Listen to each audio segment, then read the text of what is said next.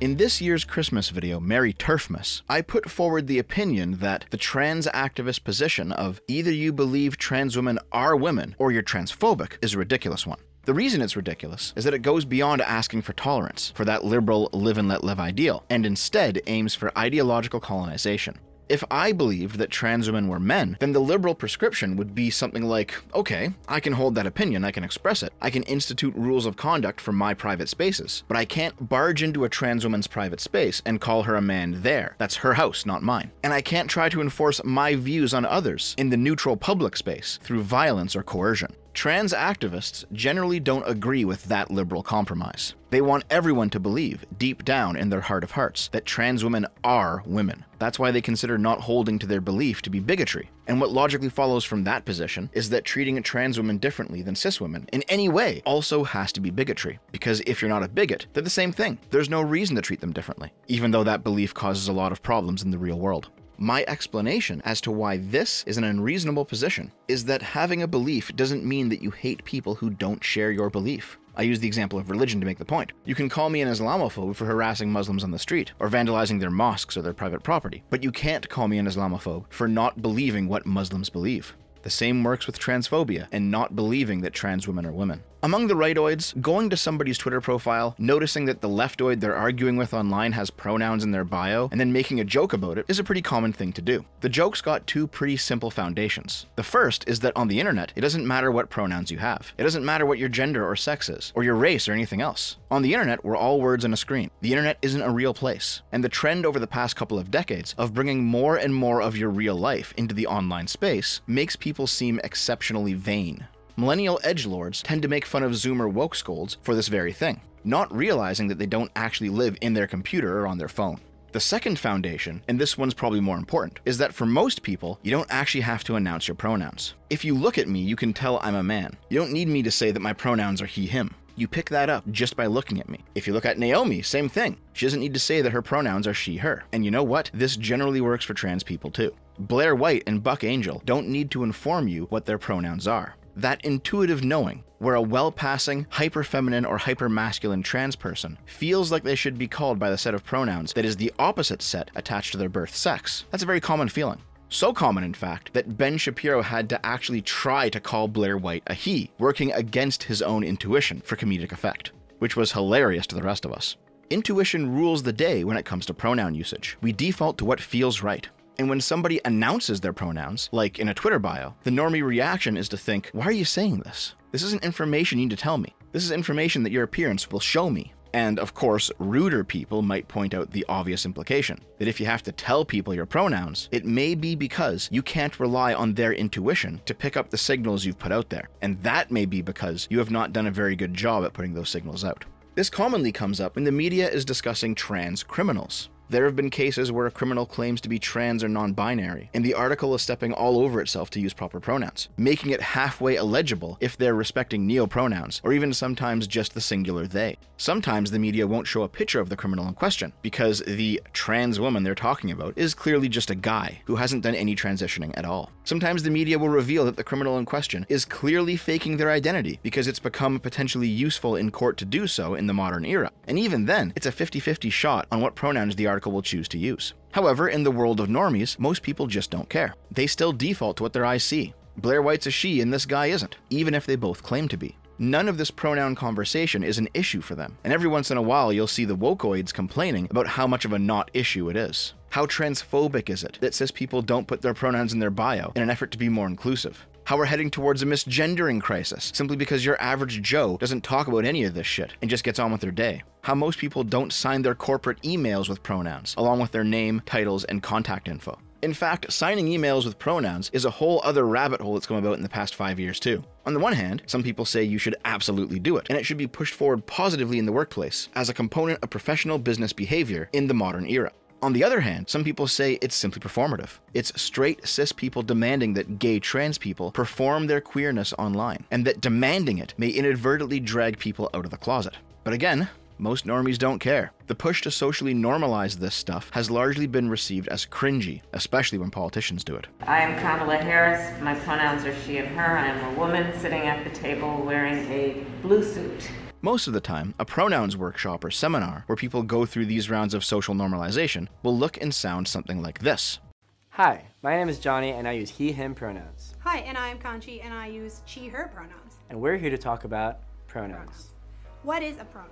A pronoun is how we identify ourselves apart from our name, and it's also how people refer to us in conversations. If you work a regular 9 to 5 nowadays, you will likely have to, at some point, sit through some god awful sensitivity training where some gormless, low IQ diversity hire will mumble the correct politics at you. I'm so glad I don't have to do this shit anymore, dude. Using the right pronouns is a really simple way to affirm someone's identity. It is a signal of acceptance and respect. If it's a signal of acceptance and respect, how do we go about creating a safe space for everybody? That's a good question. A really good way to do that is to use inclusive language. Instead of saying something like, hey guys, you can say, hey everyone, or hey team. Yeah, and now that you say that, another way that we could show that we're allies and that we accept everybody is to maybe include our pronouns in our emails, or like we just did, introduce ourselves using our pronouns. But what would I do if I uh, misgender someone? I think the first thing to recognize is that it's not the end of the world. You correct yourself and move on, or you accept the correction and move on. Not according to Twitter. There are unironically people out there who think that using the wrong pronouns is a slur, on par or worse than various racial slurs. Yeah, and another tip uh, for you to remember their uh, pronoun next time, it's in your mind. Kind of go through a progression of three good things about the person using their pronoun. So let's say the person chooses to use they, mm. then you will in your mind go, they have a nice shirt. Hey, the pronoun is they, not they. Are you misgendering? What would I do if I want to know someone's gender identity or pronouns? The most important thing is do not pressure anybody into giving you their pronouns. Some people may be going through the process of discovery and they are not ready yet to tell you what their pronouns are, and that's okay.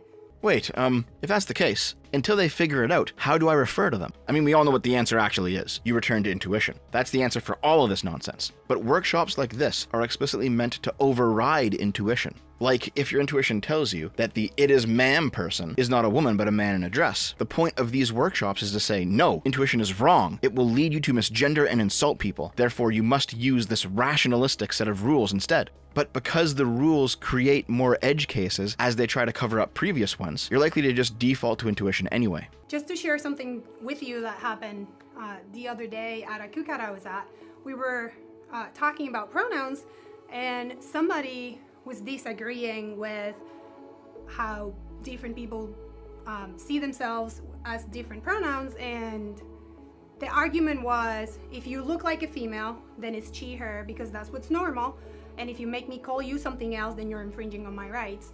And I I was really taken aback by the comment and I really wasn't sure how to respond and the only thing I could really think quickly to say was it's not about you at all and it's mostly and ultimately about respect. And this is what I mean. The guy she's talking about is making the intuitive argument. And she's saying, no, it's about respect. But there isn't really a respectful, non intuitive option here. Also, none of you even noticed that I just referred to this person with she, without her even giving her pronouns in the video. That's how deep intuition on gender runs.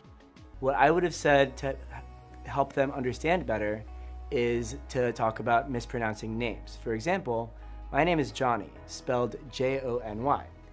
And it's normal for someone to pronounce my name like Joni, but if I were to tell you over and over again, my name is Johnny, and you insist on mispronouncing my name, I would feel disrespected by you.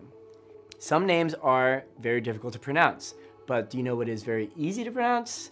She, he, they. Names aren't pronouns. In fact, names are fundamentally different from all other qualities we have about ourselves. I'm referring back again to the Dr. Thomas Bogardus prop logic that I went over in my Are Trans Women Actually Women video. You can't be a thing by identifying as it. There has to be an underlying objective reality that your identification attaches to to make it valid. I'm a short guy, 5'7. I can identify as tall, but it doesn't make me tall. I could be tall and identify as short, but I would still be tall. Reality is distinct from identification. This works for all possible attributes about you. You can identify as being rich but not be rich. You can be rich but not identify as being rich. It's the same thing. Of course, you can become rich, but that involves changing the reality as well, not just your identification. And this is how it is with gender too. You can identify as being a woman while not being a woman. The self ID view of gender is fundamentally broken. Oftentimes, trans activists will say, like they did in that clip, that your name is simply a self identifier. And you can choose your name, it can be anything you want, and it will always still refer to the same thing in reality you. But names are fundamentally different. A name is, by definition, what you want it to be. But that's not how it is with your sex, or your age, or your height, or your occupation, or anything else about you. All of those other things refer to qualities that exist outside of you. When you self ID as tall, the quality of tall does not exist only in you, it exists also in other people, and therefore it's outside of the domain of your control. Same with gender, which is why you're not a woman solely for identifying as one. But a name refers to a quality that only exists inside of you, and therefore you have total control over it, that quality being your sense of self. This also loops back around to intuition. Your gender is not something under direct and total control of you. It also exists in the minds of other people as their perception of you. So when I call Lilith, a trans woman, a she, that tells you some information about her, but it also tells you some information about my perception of her. Which is why being a polite, decent human being means respecting the pronouns of trans people in your life. It shows them that you have a positive perception of them. But this is also why you should not be forced to use the pronouns that they want you to use, and that the act of them giving those pronouns is also unreasonable. Your perception is yours, not theirs, and you have the right to be rude if you want to be. That's not up to them. And the trans activist attempt to make it up to them amounts to other people controlling what you say about them when they're not even in the room. Because you generally don't use a person's pronouns to their face, that's also kind of rude, for reasons of political correctness. This is why I said in yesterday's video that LGBTQ ideology is in a sense totalitarian, because its most extreme variant requires everyone to believe that it's the truth. This is also why people like Jordan Peterson got so up in arms about Bill C 16 in Canada back in 2017. It was Peterson's belief that adding gender identity and gender expression to Canada's list of prohibited grounds of discrimination in the Canadian Human Rights Act would compel people to use trans people's chosen names and preferred pronouns under threat of legal punishment. It turns out that five years later, Jordan Peterson wasn't entirely correct on his interpretation of that law. The law that was amended by Bill C 16 governed specific types of relationships. For example, it made it illegal for an employer to fire a trans person for being trans, in the same way that you can't fire a black person for being black. That seems fair to me. But it did not compel your average person on the street to be more respectful of a random trans passerby than anyone else. Peterson did ultimately testify to the Canadian Senate that the biggest problem with C 16 was that it was poorly worded, and that it might compel speech, but so far it hasn't. It's not actually illegal to misgender people in Canada, even though Bill 16 passed. Instead, if you do it while firing or evicting a trans person, you're likely going to face a hate crime lawsuit. But other than that, you still have free speech. Let me refer back to that Demon Mama clip I used during Merry TERFmas. What would be the problem with deer gender? Can anybody tell me if there would be a problem with deer gender? Is there anybody who could even do this? There would be nothing wrong with deer gender. Do you want to know why there would be no problem with deer gender? Because gender is a a category of self-identification that means what you want it to mean. And it means it, it means what you engage it, it it refers to how you engage socially and how you assert your own identity. So yeah, it is fair to say that gender is essentially a uh, an aesthetic. There is nothing there is nothing less valid about deer gender than there is about non-binary gender.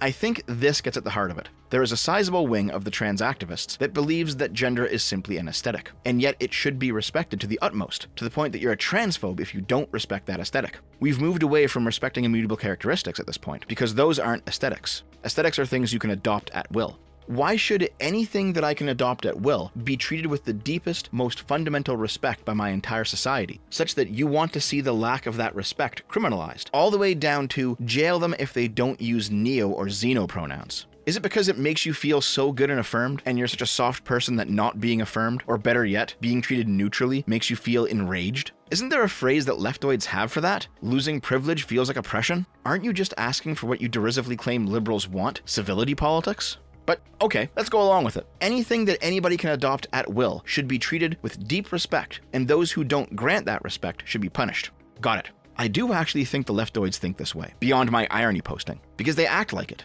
They've diluted gender down to a simple fashion choice, but they often believe that fashion choices should be no grounds to treat anybody differently, ever. For example, just look at the nudist activists we've talked about on the channel. They often believe that all sexual preferences, even when presented publicly and inappropriately, should be affirmed as well. And if the pedophiles sneak into the left, this is the vector by which they'll do it unlimited affirmation. They treat mental illness the same way, that holding people with mental problems to any sort of a standard is oppressing them and failing to affirm their identity. Basically, even though your average leftist probably doesn't believe in this, or doesn't even know what I'm talking about, I think, leftist affirmation theory has moved into a position where, because transness doesn't rely on dysphoria anymore, but instead simply self identification, and being anti bigoted requires affirmation of what is an aesthetic, the natural end result of this logic is that all aesthetics, all habits, all components of a person's personality must be affirmed in order to be truly inclusive, and a lack of affirmation of even the most grotesque qualities must be treated as a form of bigotry. This is ultimately why I'm against LGBT activism, but not gay or trans people. Most of them don't think this way, they don't want this shit, but this is the natural end result of the political ideology that underpins the LGBT activist movement. Dylan Burns asked me about this in the Tubcast before, and I didn't quite have a solid answer for him on the spot. But after thinking about it and reading some more, now I do. I guess that's why I was always meant to be an essayist and not a debater. I'm not LGBT because I oppose LGBT activist ideology, which is rooted in the unrestricted affirmation of the worst components of every single person, unmoored by any sort of standards, due to the rejection of the previous foundation of immutable conditions, and instead replacing it with self ID is valid, leading to anything, even the worst things, being valid, as long as you self ID it. Most individual trans activists themselves will never claim to actually believe in this, but it is the natural end result of the self ID logic. And as people follow their thoughts through to their natural conclusions, you will see more and more people publicly take this up in the coming years. And that's why I think somebody who presents their pronouns to you and demands that you take them up, rather than working hard to present themselves such that your intuition will line up with how they want to be viewed, is an unreasonable person. It's one small component of a much larger problem. The idea that you should be able to dictate to other people the thoughts they think about you in their head, or what they say about you in private, because you think self ID is the highest value. But it's not. I generally make the choice to use trans people's pronouns because I think it's the polite thing to do. But I reserve the unrestricted right to revoke that at any time, even at the risk of being rude or losing a friendship, because nobody has that kind of power over me, period.